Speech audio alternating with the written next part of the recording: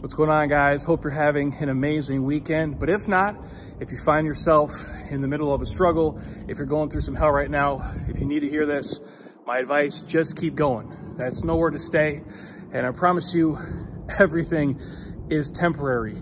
If you're having a bunch of amazing days in a row, you know, the shitty thing is you'll have a couple rough days. And if you've been having, you know, a streak of bad luck or a bunch of things come your way that are tough to handle, just know that is temporary as well. And it, it's hard to see uh, when you're in the middle of the shit, whether it be physical, mental, spiritual, emotional stuff. And sometimes you get hit in the face with all four at the same time, which is definitely tough to deal with. But if you can look past the shit you're going through at the moment, if I speak on personal experience, all the, the roughest times I've had in my life, all the shittiest things that have happened to me, when you can get through to the other side, for me, they tend to be the greatest learning experiences they give me the most gratitude and the most perspective. And that's tough to see when it's raining down on you, but I promise you guys, you'll get through it. And just remember, everything is temporary.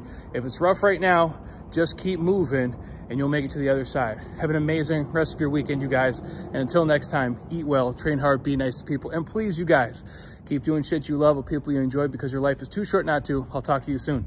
Peace.